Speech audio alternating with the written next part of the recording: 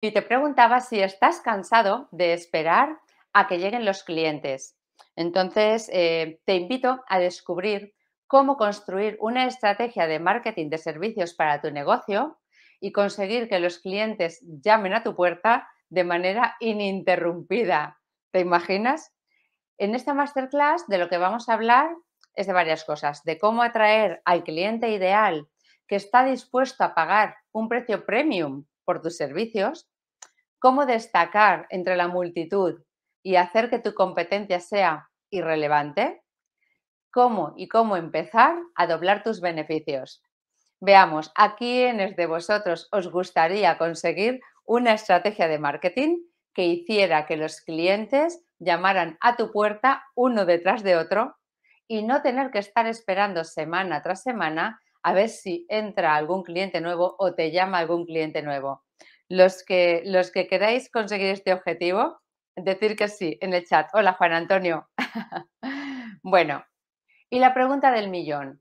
¿Quién está dispuesto a realizar algún cambio para conseguir esto? Decir yo, yo, yo, yo, yo lo quiero en el chat. Bueno, estoy segura que todos vosotros queréis esto. Cuando emprendemos, todos somos hombres orquesta lo tenemos que hacer absolutamente todos nosotros y nos faltan las manos, ¿verdad? Y las horas del día para terminarlo todo. Pero a medida que nuestra empresa va cumpliendo años, esto ya no tiene que sucederte. Una vez pasado el tiempo prudencial, tenemos que convertirnos en empresarios imparables. ¿Un imparable qué es? Pues un imparable es un empresario que destina como mínimo el 80% de su tiempo a dirigir su empresa y no a producir el servicio es un empresario que tiene ventas en piloto automático, que vende con un margen considerable que le permite tener beneficios suficientes para invertir y hacer crecer su negocio y que cuenta con un equipo de trabajo de auténticos directivos profesionales. De esta manera, las decisiones del día a día ya no tienen necesariamente que, que pasar por él, ¿verdad? ¿Os apetecería convertiros en un empresario imparable? ¿Verdad que ser imparable suena a música celestial? Pues serlo suena aún mucho mejor. Bueno, pues como os decía, bienvenidos al directo. Tres pasos para vender el doble de servicios. Lo primero que quiero es darte las gracias por acompañarme y felicitarte por ser de los pocos que seguís formándoos y que seguís aprendiendo estrategias y tácticas que os van a ayudar a conseguir vuestro objetivo. Yo en este directo, como en todos, voy a darlo todo para intentar que sea útil para ti. Quiero ser capaz de ayudarte a convertirte en un empresario imparable. para aquellos para quienes este es su primer directo conmigo, me voy a presentar muy breve. Soy Beatriz Marcos, experta en pequeños negocios de servicios y creadora de Fórmula Imparable. Llevo más de 27 años en el mundo empresarial. Yo comencé como comercial en una multinacional de servicios y a los 10 años llegué a la Dirección General para España.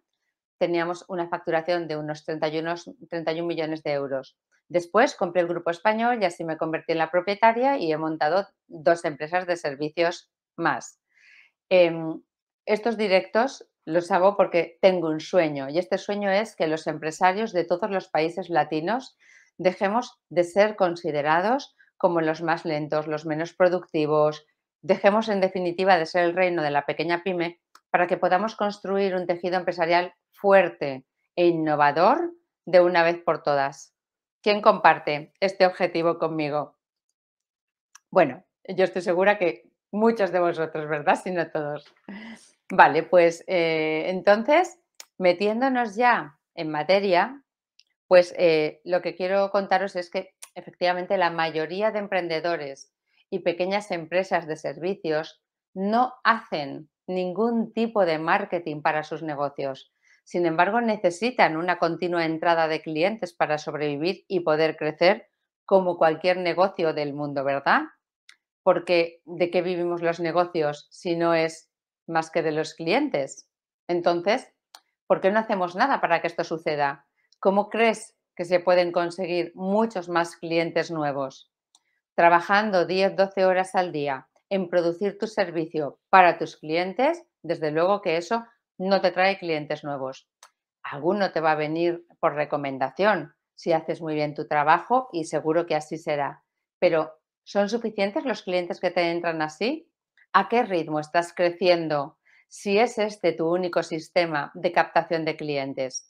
Yo estoy segura que si no tienes una buena estrategia de marketing implementada, no vas a tener una entrada constante de clientes. Y lo cierto es que no eres el único, porque este es un mal muy común entre los empresarios. Pero ¿por qué nos pasa esto? La mayoría de pequeños empresarios no tienen ni tan siquiera nociones de marketing ni de ventas y por tanto no saben pues ni por dónde empezar. Hasta contratar el servicio a un externo les parece un mundo porque no saben qué es lo que pueden esperar de esa persona, no saben qué es lo que le tienen que pedir y no saben ni siquiera cómo dirigirle. No hacer marketing de servicios en tu negocio es como tener un jardín y no regarlo. Tal vez subsistan algunos hierbajos que no necesiten demasiado agua, pero el jardín será pobre y será feo y subsistirá a duras penas, ¿verdad? Si nosotros no nos encargamos de cuidarlo.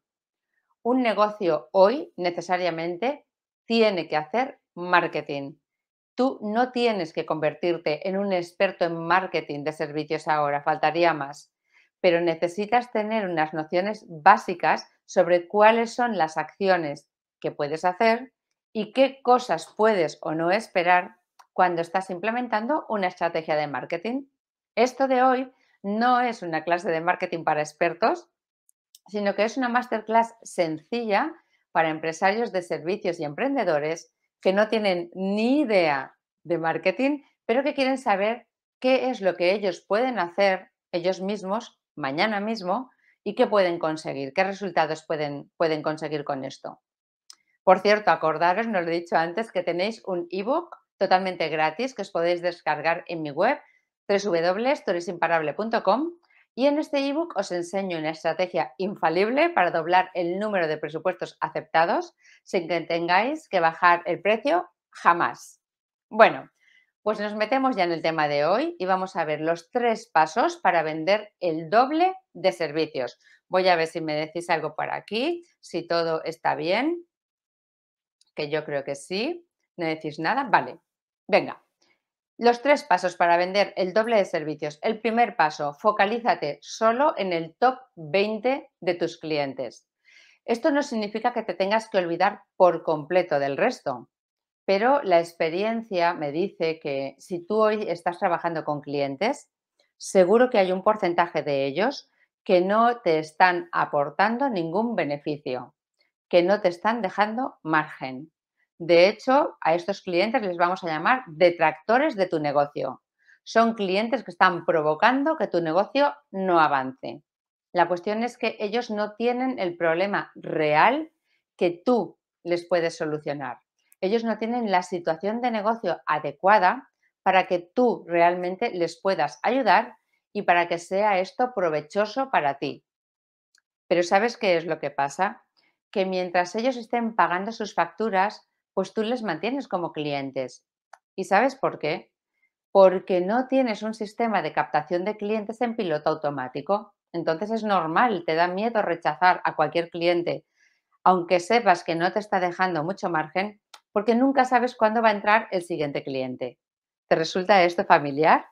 ¿Has tenido alguna vez algún cliente así o te suena esta situación? Bueno, por esto es preciso aplicar una estrategia de marketing de servicios en tu negocio. ¿Ok?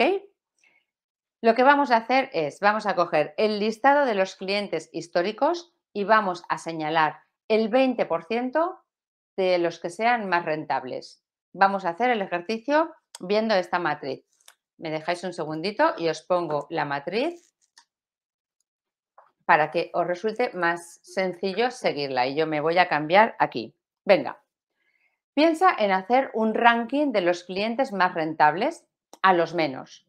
Si no sabes cómo sacar cuál es el cliente más rentable, puedes ver el directo que hice hace unas semanas, cómo vender servicios por valor y no por precio hora, en el que te hablo de una estrategia que te va a ayudar a conocer al dedillo cuánto te cuesta exactamente en euros o en dólares producir el servicio para cada cliente. Lo puedes encontrar en YouTube o también en mis otras redes sociales. Bueno, Ahora vamos a poner los clientes más rentables al principio de tu ranking y piensa en qué cosas tienen estos clientes en común.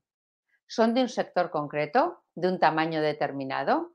Tienes que buscar esos elementos que ellos tienen en común.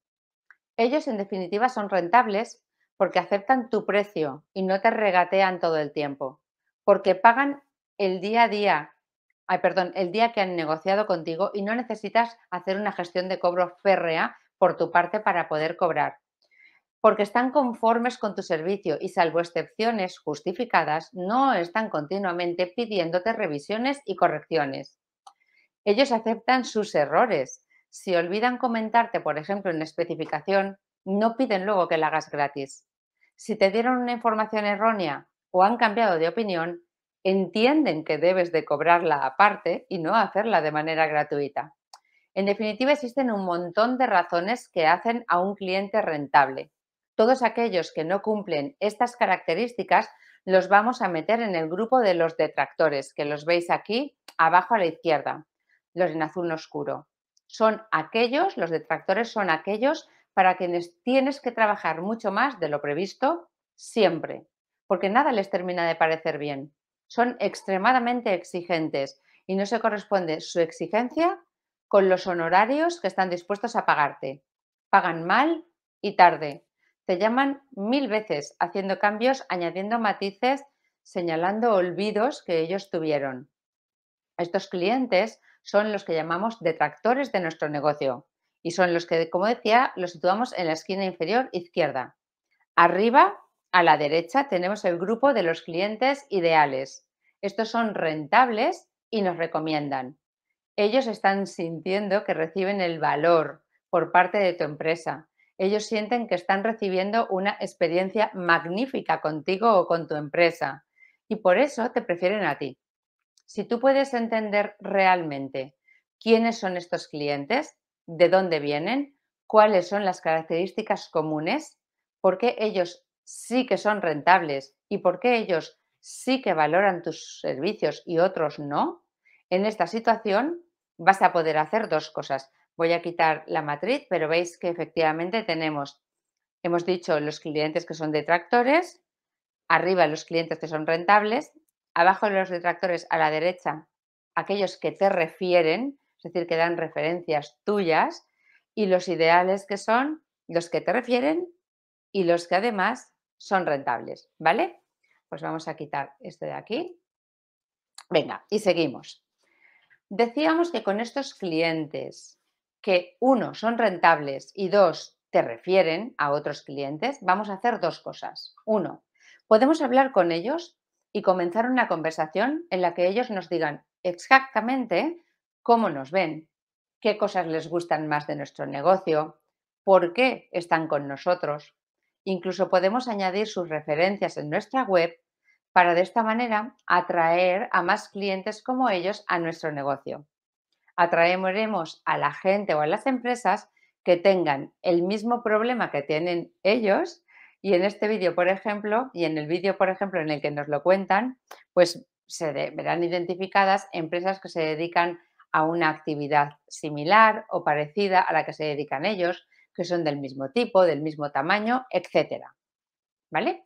Entonces, eh, es lo que podemos hacer, entrevistarles para conocer qué es lo que más valoran de nosotros. En segundo lugar, y la razón por la que yo te he dicho que traigas este, extraigas este 20% de clientes rentables es porque a ese 20% de clientes les encantaría poder hacer más negocios contigo. Y hay algo que todos los expertos de negocios sabemos y es que es muchísimo más sencillo venderle un servicio nuevo a un cliente satisfecho que ya es cliente nuestro que venderle un servicio nuevo a un cliente que no nos conoce de nada. Ok, voy a ver si por aquí tengo comentarios. Vale. Ellos van a confiar en ti por lo que el camino más duro ya lo tienes hecho para venderles un nuevo servicio. Si nosotros nos enfocamos en crear experiencias increíbles para nuestros clientes actuales, en crear más valor para ellos, en crear más beneficio para ellos, podremos construir un negocio gigante atrayendo y vendiendo y produciendo servicios solo para este tipo de clientes y no para ninguno más. Y yo me he encontrado a clientes que tienen varias líneas de negocio en las que, por ejemplo, tienen clientes que consumen solamente una. En su momento, yo fui a entrevistar a los clientes de mi cliente para averiguar efectivamente esto, cuál es la opinión que tenían de su proveedor, qué es lo que más valoraban, esto que hemos comentado. Y al ver que estaban fascinados y encantados con su servicio, yo le dije a mi cliente, oye, tú tienes que ir a venderle esta otra línea, porque ellos te adoran, les encanta, están súper contentos contigo. No puede ser que solamente les vendas una línea de servicios. Y él me decía que no, que ellos ya tenían un proveedor de esa otra línea, que no quería presionarles ni hacer que se sintieran mal. Pero bueno, ¿qué, qué es esto de presionarles? Tenéis que quitaros el complejo de vender. Un negocio crece gracias a las ventas. Le estáis poniendo cadenas a vuestro negocio. Es como tener un coche encadenado a, un gran muro y vosotros en el volante conduciendo e intentando acelerar. Y por más que aceleréis y por más que trabajéis en la empresa, el coche no avanza. Pues estas cadenas son vuestro rechazo a vender. Lo más seguro es que el cliente de mi cliente ni tan siquiera caiga en la cuenta de que le puede prestar este otro servicio. Un negocio no puede permitirse esta pérdida de oportunidades. Bueno, pues ahora que ya hemos hecho estas dos cosas que son súper importantes para tu empresa con los clientes que de verdad son rentables y que te refieren con tu cliente ideal, vamos a hacer otro, otro ejercicio. Y para ello te voy a poner esta otra imagen. ¿vale? Te voy a poner la imagen, me, cambio aquí, la imagen de las tres cajas. Al igual que muchos clientes exigen que sus proveedores tengan tales o cuales características, tú vas a hacer lo mismo con tus clientes. Por ejemplo, si ofreces servicios de estética, aunque ciertos servicios no, no lo requieran, puede que haya clientes que prefieran que se los haga un médico, ¿verdad? pues eh, es posible que, pues, que tengas un título de medicina, puede ser un requisito para algunos de tus clientes, aunque el servicio en sí mismo no lo requiera. Piensa ahora en estas cosas que tú necesitas que como mínimo tus clientes tengan para que tú les puedas prestar el servicio. Estas cosas son las que vamos a meter en el cubo azul, en el cubo que dice lo que deben de tener estos clientes para yo prestarles el servicio, lo mínimo. Por ejemplo, os voy a contar un caso que me sucedió a mí como, como, particular, como cliente. Hace ya unos años, en una ocasión, me fui con una amiga a Barcelona porque queríamos hacernos pues, el típico retoquito estético. Y allá que nos fuimos las dos amigas juntas porque las dos nos lo queríamos hacer. Cuando el médico nos recibió, que nos recibió juntas y le explicamos qué es lo que queríamos, nos explicó cómo hacen siempre por los posibles riesgos y las contraindicaciones. Si os habéis hecho pues, algún retoque, alguna cosilla, pues ya sabéis que firmáis un montón de documentos y un montón de papeles que dejan constancia de que ha sido informado de los riesgos. Bueno, pues en este caso una de las dos estaba mucho más insegura, le daba más miedo, ¿no? Meterse en el quirófano. ¿Qué hizo el médico? Pues el médico le dijo directamente a esta persona que estaba insegura mejor tú no te lo hagas porque sabes, a ti no te hace mucha falta realmente. ¿Por qué creéis que hizo esto el médico?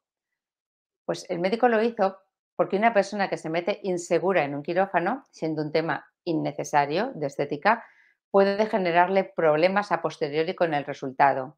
Si no están tan convencidas, es más fácil que no acepte del mismo modo las consecuencias de una intervención que una persona que está convencida de verdad. ¿Es así? ¿Cierto?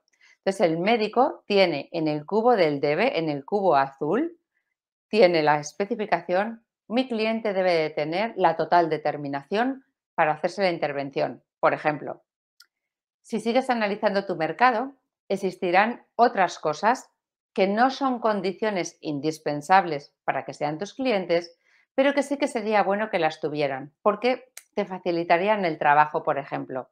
Estas cosas son las que vamos a meter en la caja amarilla, ¿vale? La caja de sería bueno que mi cliente lo tuviera. Y por último, para llenar la caja roja, la caja de ideal, es lo ideal, el cliente ideal, piensa en esas conversaciones de negocios que tienes con este grupo de clientes ideales, los del 20%, estos que hemos puesto antes en la matriz, arriba a la derecha, que te referencian y que son rentables, en las que ellos están de verdad empezándote a hablar de cuál es su problema real, de cuáles son de verdad sus necesidades. Ellos te hablan de la manera en la que a ellos les gustaría que tú les resolvieras el problema, no solamente de tener el problema resuelto. Y que cuando tú escuchas esto dices, wow, esta persona, a esta persona yo la puedo ayudar de verdad. Estos son los atributos de tu cliente ideal. Por ejemplo, yo voy a quitar ya esto de aquí. Yo en mi negocio, eh, en mi negocio, pues he descubierto que existen un grupo de clientes que realmente son mi cliente ideal. Vamos a hacer el ejercicio de los tres cubos con tú eres imparable. Lo que debe de tener mi cliente necesariamente es que tenga más de 25 años y que lleve un par de años ya con su negocio. Yo necesito que tenga experiencia suficiente al haber comenzado con el negocio, porque de esta manera podrá poner en práctica y de verdad le resultará útil la formación de Tú eres imparable. En segundo lugar, tiene que tener un negocio de servicios, porque nosotros estamos especializados en negocios de servicios. Y en tercer lugar, tiene que hablar castellano, pues todas mis formaciones son en español. Y saberse manejar un mínimo con el ordenador para conectarse a las sesiones, etcétera. ¿Vale? Estas son las cosas que pondríamos en la caja de lo que tiene que tener. Ahora vamos a ver lo que vendría bien que tuviera. Pues, por ejemplo, vendría bien que tuviera motivación para comenzar ya, experiencias con formaciones anteriores, para que pueda valorar la diferencia entre un formador que conoce muy bien la teoría como para enseñarla y alguien como yo, pues que lleva 27 años en el mundo profesional, que ha dirigido y creado empresas que, han tenido éxito. Em, sería bueno también que fuera una persona que da feedback o retroalimentación. Para mi negocio es muy importante que la persona sea muy comunicativa, porque así yo puedo ayudarla mejor a ella y al resto si me cuenta cuáles son sus dificultades, cuáles son sus problemas, etcétera, ¿vale? Y luego nos iríamos a la caja roja de lo que sería ideal que tuviera esta persona. Pues sería ideal que fuera una persona con muchísimas ganas de incorporar cambios, con mucha ambición y muchas ganas de crecer. Una persona a la que le encanten las ideas nuevas y siempre esté dispuesto a probarlas y a ponerlas en práctica. Que tuviera madurez ¿no? para asumir su responsabilidad en los resultados, porque los cambios nunca vienen de hacer un curso ni de conocer la teoría. Hay que implementar y equivocarse. Y que tuviera conciencia de que se va a tener que sacrificar unas horas a la semana durante el programa para poder mejorar así su negocio. Que fuera ambicioso y con ganas de comerse el mundo para crear una empresa eh, y le haga esto superar las dificultades sin rendirse, ¿verdad? Ya sabemos que no es fácil y que sepa buscar soluciones, porque hay alumnos a quienes hay que dárselo todo mascado y es imposible porque hay mil sectores y mil situaciones y no, no podemos. ¿Vale? Entonces, viendo este ejemplo, es lo que a mí me gustaría que hagas tú con tu negocio, que cojas las tres cajas de lo que necesariamente debe de tener, lo que estaría bien que tuviera y lo que sería ideal para que sepas diferenciar qué tipo de cliente te conviene y a qué tipo de cliente te tienes que dirigir y prestarle servicios. ¿Ok? Vale, pues la segunda cosa que vamos a hacer es la segunda estrategia para conseguir ganar más clientes de servicios es tu promesa. Y aquí una cruda realidad. Nadie quiere que le vendas, el cliente quiere tener su problema resuelto. Estas cosas, esperar que voy a poner aquí, estas cosas esto os suena, ¿verdad? Si logramos que nuestros clientes ideales sepan que entendemos a la perfección cuál es su problema, ellos escucharán todo lo que nosotros tengamos que decirles. Muchas veces ni tan siquiera el cliente conoce cuál es realmente el verdadero problema que él tiene. Imagina que tú ahora le ayudas a comprender cuál es ese problema y encima que se lo puedes resolver. ¿A quién crees que elegirá este potencial cliente como proveedor? Pues a ti. Tenemos que comprender cuáles son los retos a los que se enfrentan, cuáles son las dificultades que tienen en su día a día, qué es aquello con lo que sueñan todos los días cuando se levantan. Y si lo hacemos antes de que ellos realmente lo sepan, van a confiar de verdad en nosotros. Y este problema real que ellos tienen y que a veces ni siquiera saben exactamente cuál es, va a ser la base de la comunicación de tu empresa, va a ser tu eslogan, tu promesa, tu propuesta de valor, lo que dices en tu web, en tus redes sociales, etc. Construye una promesa que solucione el problema más importante que tenga tu cliente. Esto es muchísimo más útil de lo que te puedes imaginar para tu negocio. Hoy por hoy, el 99,9% de los negocios y sobre todo de los pequeños negocios hablan constantemente de ellos mismos, de los servicios que ofrecen, de lo que saben hacer, de cómo lo hacen. Y esto es un gran error. Por ejemplo, yo tengo un cliente que es arquitecto. Sus clientes son pues empresas de construcción. Y en una ocasión pues hablamos con sus clientes para ver cuál era realmente el valor que este arquitecto les aportaba porque efectivamente os tenéis que obsesionar por saber qué es lo que los clientes piensan, no presupongáis. Bueno, estos clientes de mi cliente me dijeron del arquitecto que efectivamente el arquitecto hacía unos proyectos increíbles, que construía y diseñaba edificios alucinantes, pero aquí viene lo interesante, lo que más les fascinaba es que gracias a este arquitecto y a cómo ejecutaba su trabajo, ellos conseguían cobrar mucho antes.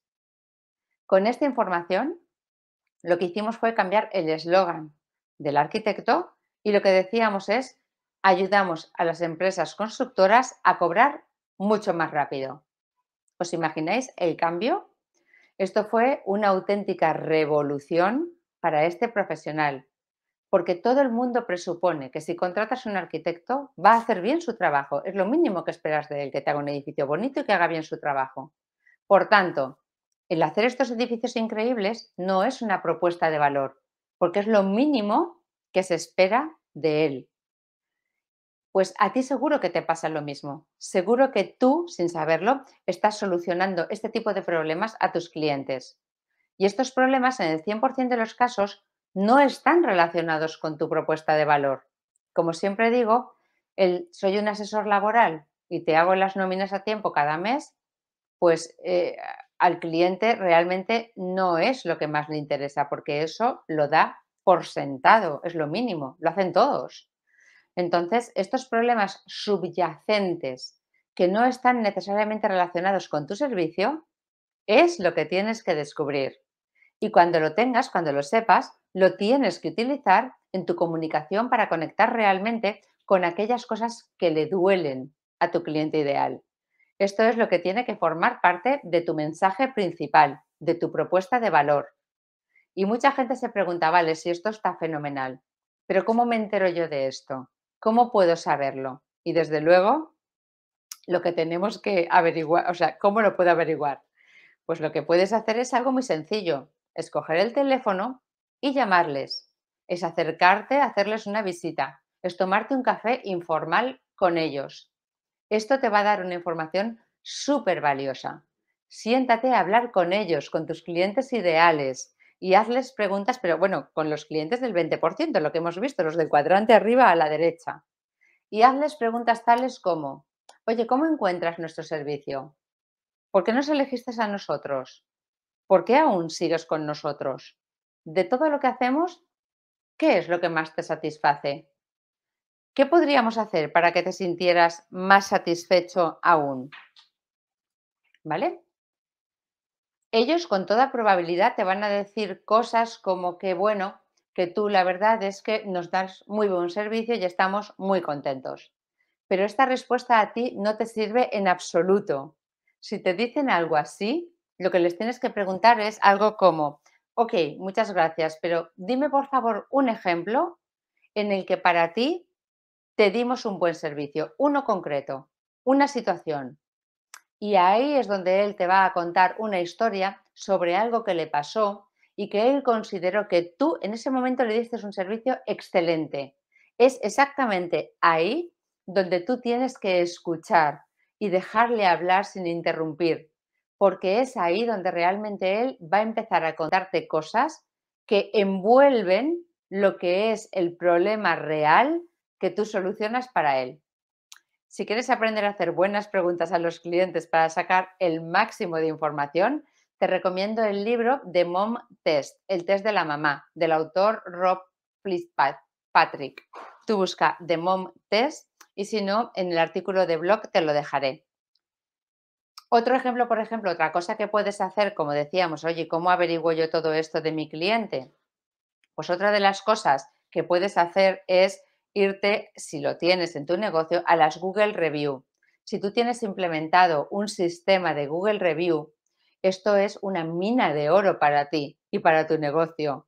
No te quedes solo con que te han dado cinco estrellas, sino que lee palabra a palabra todo lo que ellos dicen sobre tu negocio. Cuando alguien te da de una manera voluntaria cinco estrellas, es que les has sorprendido, es que has superado sus expectativas, es que has solucionado su problema real. ¿Ok? Con lo por lo tanto, el punto dos es promételes que vas a resolver su problema, pero averigua cuál es el problema real que tú solucionas, posiblemente sin saberlo. Y por último, la tercera estrategia es que tenemos que crear o diseñar el viaje del cliente. Hoy hay mucha gente que está empezando a hablar del viaje del cliente o lo que en inglés llaman más conocido el Customer Journey Map. Desde luego en Estados Unidos hace mucho tiempo que se habla del Customer Journey Map. Yo de hecho llevo años aplicándolo, implementándolo en mis clientes. Esto es algo que está muy de moda y si os interesa este tema, mucha atención al mes de julio donde voy a hacer una masterclass de hora y media en la que os voy a enseñar paso a paso a hacer un Customer Journey Map para vuestros negocios. Bueno, pero lo que os quiero, de lo que os quiero hablar ahora es que efectivamente comprendamos cuál es el viaje que recorre el cliente, cuál es ese camino que él recorre desde que todavía no es tu cliente y no te conoce hasta que llega a convertirse en tu cliente y solo entendiéndolo a la perfección vas a poder realizar un buen marketing de servicios para tus clientes ideales y captar muchos más clientes como él. Desde luego, habrás oído hablar sí o sí de los funnels de venta o de los embudos de venta. Un funnel de venta es un embudo y se llama así porque tiene forma de embudo. Mirad, como esto que os voy a poner en la foto, que lo tengo preparado aquí para que lo veáis. ¿Vale? Aquí, venga. Pues esto es un embudo, tienen forma de embudo. Esto es algo que está empezando a obsesionar al colectivo empresarial y sobre todo a las grandes empresas. No porque sea exclusivo o propio de grandes empresas, sino porque ya sabéis que las grandes empresas son las que tienen siempre acceso a la información primero y las herramientas para implementar las cosas y después pues va bajando al pequeño negocio. Hoy con Internet ya no es así y todos tenemos información más o menos de primera mano. A ti te tiene que obsesionar ya a cualquier emprendedor o dueño de negocio de servicios. Yo creo que este es un reto de verdad y es una gran oportunidad que hoy tienen los pequeños negocios para hacer un buen marketing, un marketing de servicios que os permita convertir a los desconocidos en los clientes. ¿Ok? Lo primero que tenemos que hacer es cómo guiar a potenciales clientes que tengan el perfil de nuestro cliente ideal por el viaje que éste emprende desde que es un desconocido para nosotros hasta que se convierte en cliente. Acordaros que no vamos a enviar a cualquier cliente a nuestro funnel, sino solo a aquellos que cumplen el perfil de nuestro cliente ideal, porque son ellos y solamente ellos los que nos van a hacer ganar dinero de verdad. Para mí esto es algo con lo que te tienes que obsesionar, ¿ok? ¿Por qué? Porque los negocios vivimos de los clientes y los negocios creceremos en tanto en cuanto seamos capaces de hacer entrar más potenciales clientes ideales en nuestro funnel, en la parte de arriba del embudo que veis ahí. Y déjame que te comparta un dato súper interesante que comparto un dato súper interesante contigo. Y es que el 86% de los clientes están dispuestos a pagar más por una mejor experiencia de cliente. El mundo de la experiencia de cliente es algo completamente alucinante, que ofrece unas posibilidades increíbles para todos los negocios. Por eso yo lo trabajo tanto. Además, no se necesita ni hacer una inversión ni tener expertos que trabajen contigo o para ti, ni tan siquiera subcontratarlos, ¿no? Creo que ya os he comentado antes sobre que ya que haré una sesión, ¿verdad?, de trabajo en formato taller el mes de julio. Así que atentos que no se os escape. Bueno, pensar que el 86% de las personas son casi todas las personas. No es un 20 ni es un 30, es el 86% que es cercano al 100%. Así que esto lo que nos dice es que deberíamos enfocarnos en poner nuestro tiempo y dinero en ver qué es lo que pasa con un cliente una vez que lo hemos conseguido y cuando empezamos a, darle el servicio y durante todo el tiempo de su vida con nosotros. ¿Ok? Si el 86% está dispuesto a pagar más por una experiencia de wow, ¿en qué tenemos que invertir esfuerzos? Pues en averiguar exactamente cómo hacerlo bien para él, qué es lo que le gusta, qué es lo que siente. ¿Ok? Y ya por último os voy a dar solamente otro dato más creo, que es que el 83% de los propietarios de negocios nos dicen que su principal fuente de cliente son las referencias de otros clientes. Y estoy segura que si hiciera ahora mismo una encuesta entre todos los que estáis aquí, seguro que me diríais que a vosotros efectivamente os pasa lo mismo. Y esto es un gran error. No porque las referencias que os traen clientes nuevos no sean buenas, por amor de Dios, claro que sí, las necesitamos, las queremos y las buscaremos. Esto es maravilloso. Pero lo que es un error es que esto sea prácticamente vuestra única fuente de entrada de clientes. ¿Sabéis cuántas oportunidades de crecer estáis perdiendo por no hacer un marketing de servicios? Hay un dato que es tremendamente importante y que me gustaría que pusierais atención en él y además que os lo apuntéis, porque de entre todo lo muchísimo que ha cambiado el marketing, podemos decir que en los cinco o seis últimos años, lo que más ha cambiado es cómo las personas toman la decisión de convertirte en tu cliente. ¿Os acordáis del embudo que acabamos de ver, verdad? Un funnel de marketing de servicios, un embudo, no es más que el proceso por el que un desconocido se convierte en tu cliente. Y se trata de entender cuáles son las siete fases en las que tu cliente o por las que tu cliente pasa para ser un desconocido a convertirse en un cliente. Y ahora es cuando os pongo esta diapositiva de aquí, donde veis las siete fases. ¿Vale? Una. La primera fase es que el cliente te conozca. La segunda es conseguir gustarle, que el cliente confíe en ti. La tercera es que pruebe contigo. ¿Os acordáis que en el directo anterior, creo que fue de la semana pasada, eh, el martes, hablamos de lo importante que era dentro de una estrategia tener un pequeño producto económico con una barrera de entrada muy baja para que tu potencial cliente pueda probarte sin que le suponga mucho esfuerzo y que a ti te costase muy poquito producir? Pues si queréis saber más sobre este tema, os emplazo a que veáis en YouTube el directo las 10 estrategias para diferenciar tu negocio de servicios de la competencia. ¿Vale? Entonces esto era cuarto paso, que te pruebe. Ok, quinto paso, que te compre. Sexto, que repita. Séptimo, que dé referencias a otros para que te compren. ¿Ok? Vamos a ver un poquito con más detalle cada uno de estos pasos. Voy a quitar esto ya de aquí. Vale. Venga, primer paso, conocer. Lo primero es saber qué es lo que estamos haciendo en la empresa, cuál es la estrategia que tenemos diseñada para que aquellas personas que no nos conocen conozcan que existimos y cómo vamos a ayudarles. Hay muchas maneras de conseguirlo y no podemos entrar en eso hoy, ¿no? Porque esto ya ha sido objeto de otros directos y sería objeto de un directo solo o de muchos, pero es un tema infinito.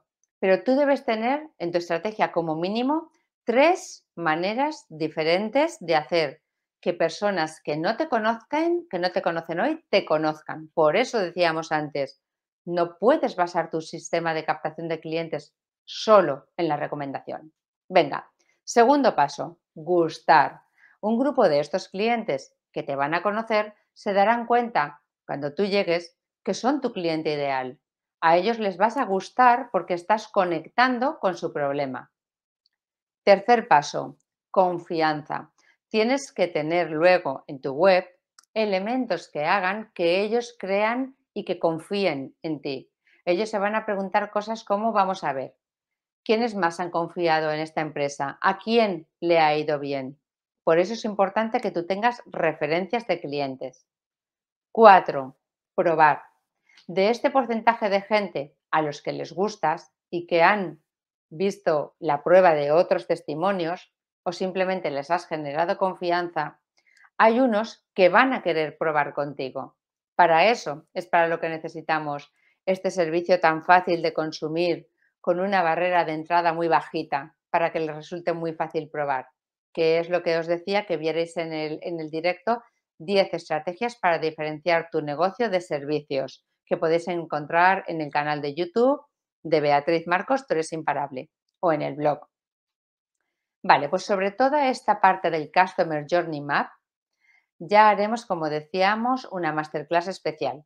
La buena noticia es que debido al cambio y a los momentos en los que nos enfrentamos en los últimos años, pues los negocios de servicios lo hemos pasado francamente mal, sobre todo los pequeños. Y esto ha provocado que nunca antes las empresas hayan estado más dispuestas a probar cosas nuevas y a cambiar. Las personas están hambrientas de herramientas y de soluciones. Bueno, quinto paso, una vez que han probado contigo, se dan cuenta que tú eres el proveedor que ellos estaban buscando y que, pueden que tú puedes resolver su problema. Entonces se van a convertir en tus clientes. No lo harán todos, ni mucho menos, pero sí un porcentaje significativo. Y esto es tener un funnel de ventas. Es construir un embudo de ventas en el que la parte superior es muy ancha porque entran muchos, pero al final solo se quedan los clientes ideales, que son los que te hacen ganar dinero, recuérdalo. De otro modo, si llaman a tu puerta muy poquitos clientes porque no tienes una estrategia de captación o un marketing de servicios, significa que sí o sí, pues vas a tener que consentir o que conseguir que ellos se conviertan en clientes y vas a tener que hacer muchas concesiones. Tendrás que bajarte los pantalones con sus peticiones, sus exigencias, y esto te va a impedir crear un negocio rentable que crezca a la velocidad que tú deseas. Si sin embargo tienes muchos clientes que entran en el funnel, tú puedes poner tus condiciones y quedarte solo con aquellos que te interesan, porque tienes mucho donde elegir. Vale, sexto paso, repetir. Ya sabéis lo que se ha dicho en ventas y en marketing de toda la vida. Un negocio gana dinero si consigue tener muchos clientes que compren que repitan y que les recomienden. El objetivo es conseguir que este cliente que ha confiado en nosotros después de la prueba y que nos ha comprado, repita todas las veces en las que necesite nuestro servicio y repita con nosotros. Y por último, el séptimo paso, la recomendación. Cada mínima interacción o contacto que tienes con tus clientes es una prueba de confianza con ellos. Y de entre los que te compren, y estén muy contentos, hay un tanto por ciento que te va a recomendar. Pues así es como se construye una estrategia de marketing de servicios. Tu misión es conseguir guiar al desconocido por todos estos pasos que hemos visto para que finalmente se convierta en tu cliente, desde el principio hasta el final. Guiar al cliente desde el primer paso que da para buscar una solución hasta que al final termina contratándote a ti. Ya imaginarás que la típica objeción de yo no sé cómo hacer marketing nos la hemos cargado en este directo, porque como ves, con esta estrategia tú no necesitas ser un experto en marketing, sino solamente necesitas analizar estos siete pasos y decidir qué acciones vas a implementar en tu empresa para conseguir convertir extraños en clientes ideales que repitan y que te recomienden. Bueno, pues ha llegado el turno de las preguntas y respuestas. Yo no sé si hoy tenéis una, alguna pregunta para mí, si queréis comentar algo.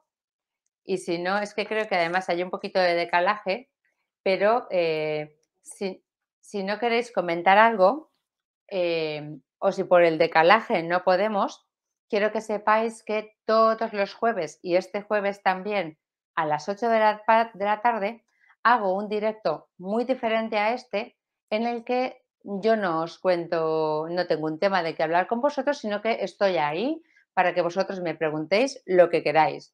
Lo podéis hacer sobre el directo que hemos visto hoy o lo podéis hacer sobre cualquiera de los temas que tratamos en Tú eres imparable y que son cómo ayudarte a convertirte o a pasar de ser un hombre orquesta, que lo tenemos que hacer todo, ¿verdad? A convertirnos en un empresario imparable.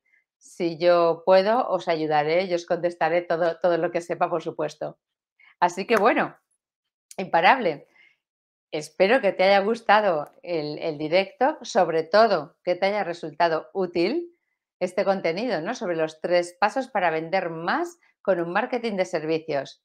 Tú también puedes hacerlo. Ya has visto que no es en absoluto nada difícil y lo puedes aplicar sea cual sea tu negocio de servicios. No hay excepciones.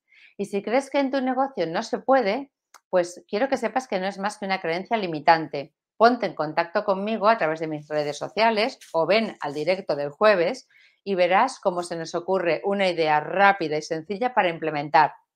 Hoy tienes una oportunidad de crear un sistema de marketing de servicios que te genere un número mucho más elevado que el que tienes hoy de clientes. Y lo único que tienes que hacer es aplicar todas estas cosas que hemos visto hoy, las tácticas y herramientas que comentamos en Torres Imparable, para que tu negocio empiece a crecer de una manera mucho más rápida. Tan solo piensa de todo lo que hemos hablado hoy, cuál es la parte que vas a implementar mañana. Y ya verás como detrás de esta vendrán poco a poco todas las demás, hasta que consigas implementar las siete fases del funnel. Em, además, puedes ver el directo todas las veces que quieras, pues para ir sacando ideas y recordar cuáles son las fases o cómo puedes implementarla. Tan solo recuerda que detrás de cada resultado que no tienes hay un conocimiento que te falta o una estrategia que no tienes. Ahora, este conocimiento, esta estrategia ya la tienes. Solo te falta aplicar lo que hemos visto hoy. Como siempre te digo, es tu negocio, imparable, es tu vida, así que haz que valga la pena. Si tienes cualquier tipo de consulta, puedes dejarla en los comentarios y yo estaré encantada de responderte. Así que nos vemos en el siguiente directo, que será el jueves a las 8 de la tarde hora Madrid y a la 1 del mediodía hora Ciudad de México. Y si no nos vemos en el directo, nos vemos allí arriba en la cima. Mientras tanto, sé feliz. Chao, imparable.